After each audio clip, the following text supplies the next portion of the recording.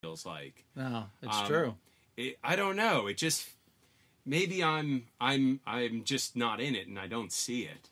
I guess, and maybe we're we're re- reminiscing about our youth, and maybe it's felt like there was more kids surfing when we were younger because maybe there weren't as many older. There weren't as many surfing. older people. There weren't because no. uh, because of the longboard revel- the longboard revival hadn't fully come into effect Right, right. until like the late 90s. right. Where It- people where the riding a longboard was acceptable, and then most people could actually go out and catch a wave. Yeah, yeah, pretty much. Yeah. you know. So I wonder, like, I always, yeah, it's funny. Like, do you do you still have any like team riders or kids that that like a, ride for you? a little bit, but we've gotten away from that model. And you know, you hate to say, but like the local our local shops will like promote and promote a kid. Yeah. But you know, local board builders. But when they get good, they're going to move on to the bigger companies. Yeah. Right. So they help you out for a little bit. You help them out for a little bit. But they eventually kind of move on. Yeah. You know. I don't know. John John's stuck with Pyzel, well, he's not a little guy. but he Pyzel's was a with big them. company. But Pyzel made it for him when he was like, you know, He's. John John's what made him famous, right? Exactly. Made him have a, a thousand orders in backlog or See- whatever. See, when you just bring the kids in, you just say, "Look, like I'm going to sponsor you, but you have to be with me at least for ten years, okay? yeah, yeah, Otherwise, I'm going to make you backlog pay me for all the boards." yeah, yeah, yeah. you should do that. What um, what have you seen stand up paddleboard? Is it still as peaking as it was a few years ago, or are you seeing No, it it back? really hit. I think it hit the top of the of the market in like 2012, Yeah. right?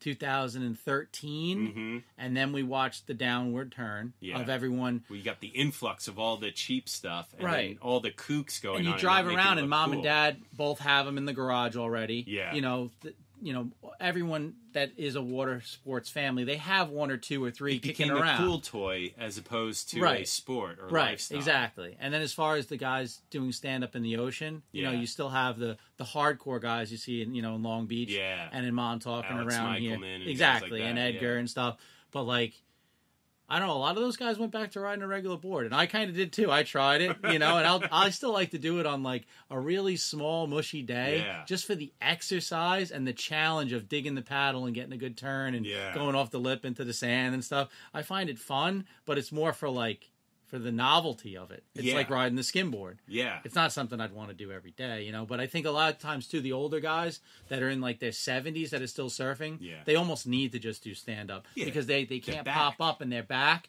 and it's great for them because it's been a it's been a rejuvenation of their soul to be able to still surf, you know. So I have nothing against it.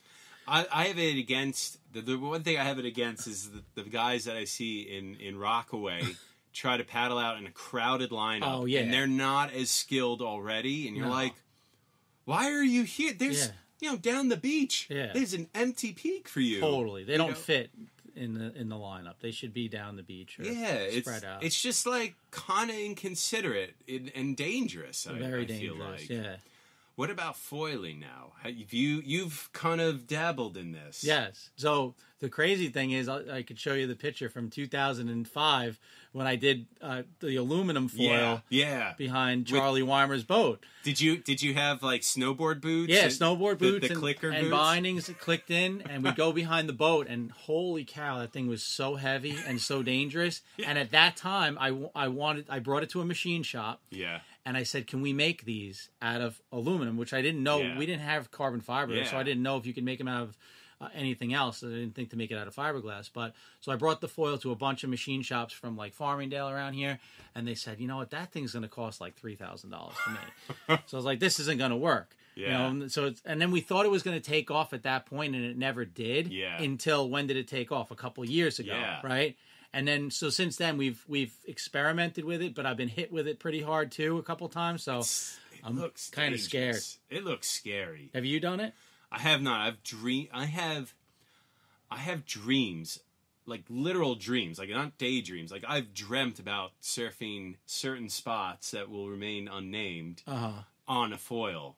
Like Like flying. yeah, Yeah, and like yeah. I'm just like that must feel amazing. I've seen people surf a certain spot on it with it. Right. And I'm like, that's amazing. It must feel Right. unreal. But uh, yeah, I really would love to try it one day, you know, and like I would definitely one day I would definitely want to try it, but uh, I have not had the opportunity. Yeah, You know, is it? It's hard. it's hard. You like you have to. It's counterintuitive. It is. It's a different, totally different feel. Like you have to lean almost forward because Forward. the foil wants to go up. Wants to shoot out. Yep. And you're like, so you, if you're a front-footed surfer, it might actually work well for you. You think, Right. Or Yeah, more snowboarder, More for yeah, it's more of that same feel of like snowboarding right? in the front foot. That's what I. It looks. But like again, I'm not an I'm not an expert Yeah. on it because I've just like done it a handful of times and hurt myself. So But are you making them? Are you making the foil? yeah, we're making foil boards. The foils themselves, I made a couple molds and That's we were going to start making them. And I said, you know what, I'm going to leave that up to someone else because it was just You need a, you much. need computer. You need fancy computers for that. I Yeah. Think. Like you need to like you need like Boeing level kind of you know modeling yeah, of scene flow and all that to make the rake and make the those Right. wings work. Right. I think you know it's not something you could really do by hand No. and get it as. it as- wouldn't be as accurate to, Yeah. to shape those by hand. I mean, maybe the machine, like I had a guy that borrowed our shaping machine Yeah. to make model airplane stuff, uh, That's like an. RC jet, and he was foiling out the wings of an RC jet on the mach- Oh. on the machine. So that was that was a few years ago, but it, the machine could do that, but it doesn't pay to set up to make No. to make foils. I'll you know, but the, the foil boards we do Yeah. we do a few a year, you know, maybe twenty a year or something. How small are they? How like what Oh. is that like? Because you're really trying to make something small as possible, but paddleable too, right? as small as possible, as th- like really thick, scoop on the deck, and that sh- that really beveled rail. Yeah. And a lot of people want like a roll in the bottom and then the beveled rail. They say it's more like a hull design on a boat. Mm, You know, you you- don't you don't want any concaves on the bottom of that thing. You don't want anything to stick. yeah. You want it to just whew, come right up. And the board really, I mean, they say you could. The guys that are really good, they don't even need the board. They could Yeah. like have a two by four on Yeah. the foil Yeah. and ride it. Um, so they want to go as small as possible, like four, you know, four two, four six, whatever we've been doing. A lot of like around that size. But like you said, twenty something wide and like four and something thick. We're getting them up to about sixty liters. So we have to make a four foot six that's sixty liters. So so you're basically taking that old door board you used to make and Yeah, the shrunk door it is like the down, door. basically. Well, the stand-up blanks work out great because we cut them right right Yeah. in half. We get two out of them. Oh my god, you could you could do like three, four boards three out of four a out of stand-up. yeah. You could theoretically you could just cut horizontally into those into the the stand up boards and just take chunks Right, of that. right. You know? Exactly, exactly. Here, you know what you do to help with that lift? Golf ball dimple bottom. Like that we were talking Yeah, about before. that's a good idea. That'll get you the lift out in That's the a good idea. That's, that would work. For me, the foiling really became like this is cool when I saw the guys like on the West Coast do it, like in California, doing Yeah, it, yeah. doing like their putting their California style spin onto it. You know, like kind of Classic carves and stuff. yeah, sick. grabbing the rail, Yeah. kind of cutting, and like doing like the skateboard Bertlemann kind of Yeah. esque kind of you know Dogtown turns on them. Like that to me was just like this is beautiful. Yeah, it's cool. You know, the, the But do you think it's going to blow up like stand up did? It too can't hard. because it's too hard. it's It too is. hard. It's too dangerous. It's dangerous. Um, I think you you need a boat to really learn. I feel like to tow behind it before you can really do it on a wave. Otherwise, it's going to be a really difficult learning curve. right. Um, I've seen it drop off too. You I feel so? like I've seen like on social media, it's become more of a novelty for some. And it was a fad at first. It was like really cool and and you saw like loyal to the foil type of Hmm. Yeah. hashtags and Yeah. stuff and they're like this is it this is the new thing and i think maybe they realize there's a limitation to it Yeah. you know because really how much I know. I'm like I'm watching a guy in, in uh, West Hampton a couple months ago.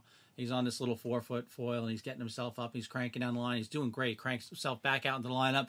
Gets another one. yeah And I'm looking at it like, when is he going to bottom out? Because the wave was small and how shallow it is, Yeah. right? I had um, the lift foils. I tell you this, we had No. we had one of those electric lift foils, and we put LED lights in it. So that was another engineering project. I had to like route out the bottom of the, the foil, and I had to make a control for it and everything. And we put LED lights in the bottom of it so they could foil at night, Yeah. lift foil at night. And I did the lift foil in the canal where I grew up, and it was just the coolest thing. It felt like I'm flying in the canal. I never thought I'd be flying. Wow. It, you should try the the e foil. That sounds cool. It's an amazing feeling. But I stuffed that thing in the mud, coming around the turn, you know, in like in like two foot of water, and I stuffed it and and flipped, you know, over the 10 handlebars. down the tubes, right? And the thing's just standing there. It's just standing there, you know, elevated two feet out of the water, wedged in the mud. I pulled it out of the mud, and it didn't break the foil or anything, and the motor still worked and everything. That's the guy, um, the guy in Puerto Rico yeah. that makes them. And um, I mean, he he did an amazing job with that thing. That thing's unbelievable. I mean, it's 40 volt battery, I Wow. think. Um, That's crazy. you know, you can you wash out the inside with the hose. How long does the battery last for, you think? The battery battery lasts a good a good hour or two. Fuck. Yeah, and the learning curve on it, it's so much easier than doing regular foiling. So that's the foiling we really did like Yeah. all last summer and into the fall was the Yeah. e-foil. But that must be kind of liberating, right? Like you can go to some places that you wouldn't normally surf. Like certain you know, like that bar between, you know, Moses and and uh, you know, Cedar Beach. You know, that is all open for surfing now with no crowds. right. Like you that's go out there, amazing. fly out there on the thing, and ride ride some waves and fly back out. It's it's cool. I'll try and get it back this summer if you want to try it. Yeah, hell yeah. now, have you exper- what what are some experiments that have failed for you for surfboards that have you've done that like just you you had an idea, you drove around and re and you engineered it while you're driving, you know, and like what have you what have you done that's like been like just didn't it didn't work? Well, this there's one I'm still working on now that I'm. Uh, it's it's a. I'm trying to invent a glassing machine, and I don't Oh. know how. Yes. um, the reason is There's you know, no there's laminators there's out no, there. There's no laminators out there. You know, most of my cost to run my business is labor. Yeah. and it's hard to find skilled labor. It's hard to train young kids that want to do this stuff. Everyone says they want to. After a week of being covered in dust, they quit. You know, so this would be a way to make to make our process so much easier. Yeah. And if if there was a glassing machine, that glassing machine could be in Rockaway. That machine could be Anywhere. anywhere, and you still might have to do some finish work, but people could just drop their blanks off. And someone, someone that's maybe more of a computer programmer, like we have more computer program type people these days than we do someone that wants to run a squeegee up and down a board. So if we could get a glassing machine, but I've had failed attempts Yeah. trying to do What- it, and then I just get upset and I go back. Oh, yeah, too many boards to make anyway. what what um you know you, you could choose to share if you want but what are some of the the difficulties that you you come up with Well, with here's that? here's one idea that I think might work or might fail. yeah So if you had the glass made into a Chinese finger puppet sock, you know Yeah. this thing that you know you pull on it, grab Yeah. your finger. If the glass was woven that way, Yeah. in a in a in theory, Yeah. you could sleeve the board but that's what they do with skis and twist it. Yeah, just like skis. so so like i went to the k2 factory in seattle where they make all the prototypes i saw their carbon weaving machine what they do Right. is it's a big rotary machine and each little thing has a has a fiberglass weave you know like a like a string of fiberglass Right. on it and they put the the the blank the ski blank through it and this thing twists and turns around it as it goes through and so it makes it really tight fit Right. around the, the the ski and it creates the biaxial or triaxial, weave on weave, it yeah, yeah, and it creates a sock around it but it's not an actual sock like it's woven around the board Right. it was a pretty big you need you should look online at like see if you can find the machinery at least for the idea because that that's very possible It is is possible. it's totally possible And I think when they make um, they make the paddle shafts, Yeah. they have you, you see that you see it weaving in a in a in a motion. Mhm. And why couldn't the blank be roll be slowly rolling into that weave yeah as it's wetting out? mm. When it gets wet out, I don't know, but maybe it could go through that process and go to the end, get a snip, And go in the oven, yeah, get a light sand and a hot coat. Now you have something stronger. You have better flex characteristics. Like you don't that. need a stringer, yeah, and you and you you you've basically automated. You've automated the lamination process. That's Yeah. one process you've helped automate. you can now make make surfboards um, not affordable, but you can make better profit margin.